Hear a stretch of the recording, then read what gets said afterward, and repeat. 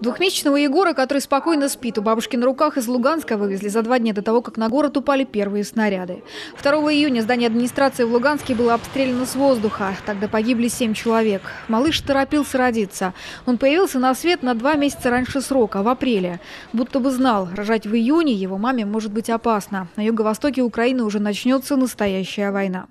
Сначала большая семья добралась до Азова. Оттуда переправились в Краснодарский край. Мама там осталась.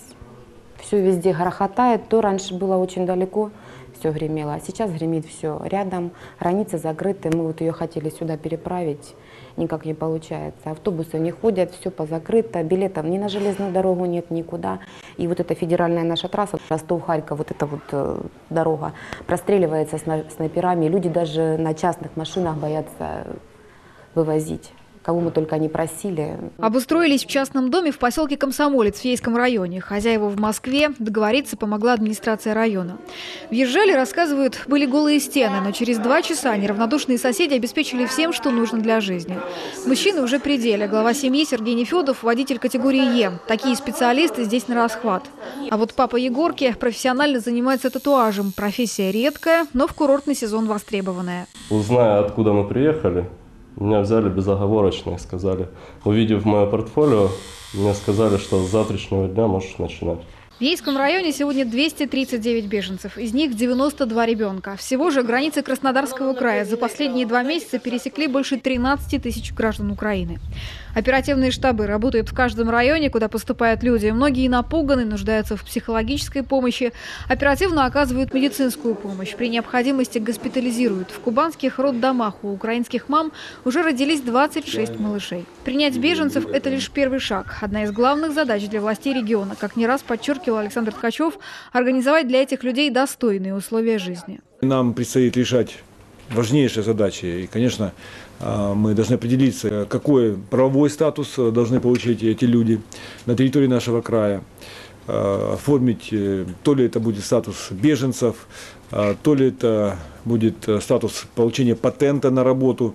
Если этот конфликт затянется и количество беженцев будет увеличиваться, конечно, для большинства нужно будет предлагать и работу. И уверен, что мы сможем в том числе с вами здесь и поддержать, и помочь. И мы должны с вами обязаны будем и предоставить возможность детям пойти в школу. А, На это тоже нужно рассчитывать и понимать, как это делать. Вплоть до того, что открытие второй смены Противостояние в Украине затягивается, и по данным Федеральной миграционной службы, большинство из тех, кто сегодня находится в регионе, подумывает о смене украинского гражданства на российское. Там, где родители изъявили желание, детей уже оформляют в кубанские школы. Не забыли и о малышах. В Ейском районе, например, 12 детей уже устроены в детские сады. Вопрос актуальный, учитывая, что большинство беженцев – это мамы с детьми, причем мамы, желающие устроиться на работу. Я вам приведу такой пример, когда мы привозили 33 человека, мы брали в Никлиновском районе Ростовской области, там мамочки с детишками, с детишками до двухлетнего возраста, изъявили желание работать. И они на сегодня работают в рыбхозе Ясени нашего района, там их разместили, нормальные номера им выдали, там же рыбзавод, и они работают. Одна смотрит за детьми, а четверо работает. Я просто был удивлен. То есть люди понимают, что они приехали сюда не отдыхать, они приехали, так сказать, ну, переждать вот эту сложную ситуацию. Виктория Костенко с сыном делит кров вместе с Нефедовыми. Впрочем, совсем скоро они планируют переехать в станицу Должанскую. Там им уже пообещали сладкую жизнь. Работу на кондитерской фабрике для мамы и детский сад для сына Давида. Вы хотите здесь остаться? Да, в Украину не будете да, нет, не хочу. С таким э, правительством, ко- которое обстреливают, дети умирают, как-то не, не очень хочется жить в такой стране.